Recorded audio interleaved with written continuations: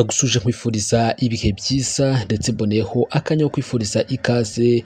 Wowe wahisemo kubana natwe nkwibutse ko iyi ari Kigali News. Ukomeje gukurikira akaba ari ryo shakiro ryonyine ry'amakuru yizewe mu Rwanda.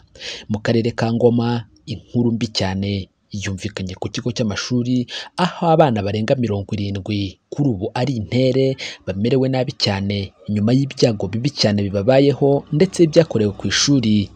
Iyi nkuru yateye ababyeyi benshi gusesa urumeza abandi batangira kubabazwa cyane no kumva aya makuru.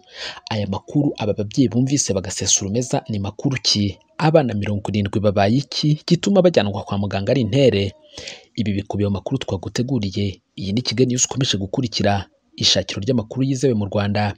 Dutera inkunga uyu munsi urebe munsi ya kino kiganiro. Handitse subscribe cyangwa se abone ukandeho n'akazogera kahaza ugakandeho wemeze ko iteka ryose uzahorana natwe ko ndetse uzahora nimero ya mbere mu kuzajya ubona ibiganiro n'amakuru tudahwema kugutegura no kukugezaho umunsi ku munsi.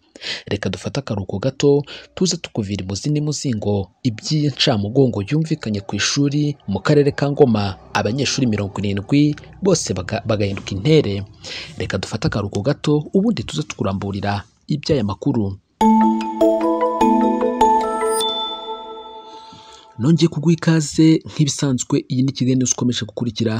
Iri ni ryo shakiro ryonyine ry'amakuru yizewe mu Rwanda. Turagusaba ko wadutera inkunga uyu munsi ukareba munsi ya kino kiganiro. Handitse sabone cyangwa subscribe ugakandaho n'akazogera kari buhaze ugakandeho kugira ngo wemeze umubano. Ndetse ushimangire ko iteka ryose ari we wa mbere mu kuzajya ubona ibiganiro n'amakuru tudahwema kugutegura no kukugezaho. Ikindi kandi tuboneyeho akanya ko gushimira cyane wowe wahisemo kubana natwe ndetse ukadutera inkunga. Ubu ukaba ubona ibiganiro n'amakuru tugutegurira cyangwa se tukugezaho umunsi ku munsi. Inkuru mbi cyane yumvikanye ku ishuri aha ni mu karere ka Ngoma. Byababaje abatari bakeya abenshi basesa urumeza bibaza kuba warohereje umwana ku ishuri ari muzima ariko mu kanya nko guhumbya ukumva umwana ahindutse intere ku bintu biturutse ku makosa atandukanye. Byagenze gute ingoma byateye abanyeshuri mirongo irindwi bose kuba bakwerekeza ku kigo nderabuzima kandi bakajyayo barembye? Ibi ni ibiki bikomeje kumvikana ku bigo by'amashuri mu Rwanda? Nkwibutse yuko hadaciye na kangahe hatangajwe inkuru zitandukanye aho abana bagiye batandukanye bagiye bapfira ku mashuri abandi bakagenda bagaragarirwaho amakese akomeye cyane. Byateye ababyeyi benshi kuba bagira ikikango. Hakorwa iki kugira ngo abana bari ku ishuri babe bafite umutekano wizewe ndetse bafite buri kimwe cyose uko bagikenewe? Kuri ubu ngubu mu karere ka Ngoma abanyeshuri barenga mirongo irindwi nibo bajyanywe mu bitaro ndetse barembye cyane hagakekwa yuko ibiryo bariye byaba byaragiyemo ibihumanya bigahumanywa. Aya makuru atangajwe nyuma y'uko hashize igihe gito cyane mu karere ka Rubavu abana b'abanyeshuri bagiye kwicirwa n'inzara ku ishuri nyuma y'uko byavugwaga yuko ngo hari umutetsi birukanye akaza kuruga umuriro maze bacana abamusimbuye ukanga kwaka burundu kugeza ubwo abanyeshuri ikigo cyose kibwiriwe kugeza bemeye kugarura uyu mutetsi akagaruka. Mbese ngoma ho byagenze gute? Uwahumanyije ibiryo by'abanyeshuri ni muntu ki? Mbese kuki bakeka ibi? Kuki ibi ari byo bigarukwaho na benshi? Ubuyobozi bw'akarere cyangwa se bw'umurenge bwaba butangaza iki kuri iki kibazo? Iri shuri ni irihe? Ibi byose ni ibikubiye muri aya makuru turimo tuza turambura. Amakuru yacu akomeza avuga ati abanyeshuri barenga mirongo irindwi basanzwe biga mu ishuri ry'urwunge rw'amashuri rwa Gahushi. Iri shuri riherereye mu murenge wa Rukira aka ni akarere ka Ngoma bajyanwe kwa muganga igitaraganya ndetse bajyanwa ari indembe. Nyuma yo kurya ibiryo bikekwa yuko byahumanyijwe ndetse bikaba bitari byujuje isuku ikwiriye. Umunyamabanga nshingwabikorwa w'umurenge wa Rukira yitwa Buhiga Josue. Yabwiye itangazamakuru ko aba banyeshuri bahise bihutanwa kwa muganga bakajyanwa ku bitaro bya Kibungo abandi bakajyanwa ku kigo nderabuzima cya Gituku. Mu ijambo uyu muyobozi yatangarije itangazamakuru yatangaje agira ati ntabwo nakwemeza ko aba banyeshuri bariye amafunguro ahumanye. Kubera yuko kugeza ubu ntabwo mfite ubushobozi bwo kuba napima ibi biryo ngo menye niba byari byahumanyijwe cyangwa se bitarahumanyijwe.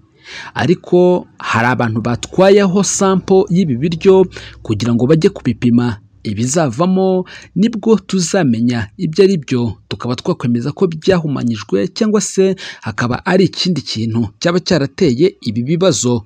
Icyakora kugeza ubu dukeka yuko aba bana baba bariye ibiryo bitahiye cyangwa se bitatetswe neza. Kugeza aka kanya ni cyo kintu cy'ibanze turimo dukeka.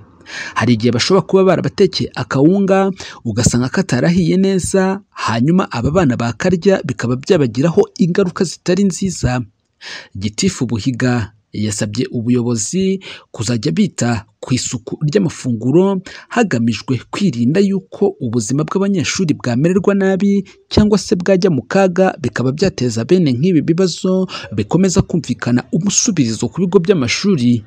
Muri uyu murenge hashize igihe gito cyane nabwo hari abantu bajyanywe kwa muganga bagera kuri mirongo ine na batanu nabwo bakaba bari bitabiriye ubukwe ngo bakaza kunywa ubushera bikekwa ko bwari bwahumanyijwe. Benshi bakaremba bikomeye cyane ariko uwiteka akaza gukinga ukuboko ntihagire uhasiga ubuzima. Aya makuru ababaje cyane yateye ababyeyi benshi gusesa urumeza. Abenshi bibaza ukuntu ibintu nk'ibi bishoboka kuba umuntu yakohereza umwana ku ishuri ari muzima. Hashira akanya akumva ko yagejejwe mu bitaro ari intere biturutse ku kuba yariye ibiryo bihumanye. Usibye kuba aba babyeyi batandukanye. Bibaza ukuntu ubuyobozi buba bwagize uburangare ku rwego hatekwa ibiryo bihumanye. Abana bagera kuri mirongo irindwi bose bakaremba ibi bintu bikarushaho kuyoberana. Usibye ibi kandi ababyeyi bibaza benshi bibaza ikintu cyaba cyarazamuye ubugome mu bantu kugeza ubwo umuntu yagambirira kuba yahumanya ahantu hahuriye imbaga nyamwinshi cyane yuko n'ubundi muri kano gace humvikanye inkuru ibabaje cyane y'amarozi yahindutse amarorerwa aho ibintu byumvikanye bitari byiza abantu basaga mirongo ine na batanu bari bitabiriye ubukwe bakaza kumvikanamo inkumbi y'uko aba bantu babaye intere bakaremba bikomeye cyane. Bakajyanwa kwa muganga nyuma y'uko bari banyweye ubushera ariko nyamara ngo butari bwujuje ubuziranenge. Ibi bintu bikomeza kubabaza benshi. Basaba ubuyobozi ko byazajya bikurikiranwa mbere y'igihe. Uwo bihamye ko uburangare bwaturutseho akabihanirwa ndetse akaba yakwishyura ikiguzi kiba cyatumye ngo aba bana bahura n'ibibazo bikomeye. Usibye kuba abatandukanye bemeza ibi. Bavuga yuko ari ikintu kitumvikana. Ngo kuko nk'uko iyo umwana arwaye biturutse ku makosa nk'aya yakozwe usanga atakaza amasomo cyane yuko abandi badahagarara kwiga ngo ni uko hari urwaye. Gusa nanone kuba abana bagera kuri mirongo irindwi barwarira icyarimwe ndetse bakaremba kugeza ubwo bajyanwa mu bitaro ni ikintu kitumvikana ndetse kibabaje cyane. Gusa kugeza ubu amakuru akaba akiri gukurikiranwa. Ababyeyi batandukanye bakaba basabye ko hakorwa iperereza hakamenyekana iyi ntandaro y'uko ibi bintu byaba byaragenze. Iyi ni kigali news ukomeje gukurikira. Turagushimira cyane wowe uhora ubana natwe ndetse ukurikira amakuru n'ibiganiro tukugezaho. Niba ari ubwa mbere dusuye dutera inkunga urebe munsi ya kino kiganiro. Handitse subscribe cyangwa se abone ukandeho n'akazogera kari buhaze ugakandeho uraba wemeje ko iteka ryose uzahora uri nimero ya mbere? Mu kuzajya ubona ibiganiro n'amakuru tudahwema kugutegura no kukugezaho umunsi ku munsi. Nimukomeze mugire ibihe byiza mu byo mwerekejeho amaboko byose. Turabasabira kuri nyagasani ngo bibahire kandi muhahe muronke.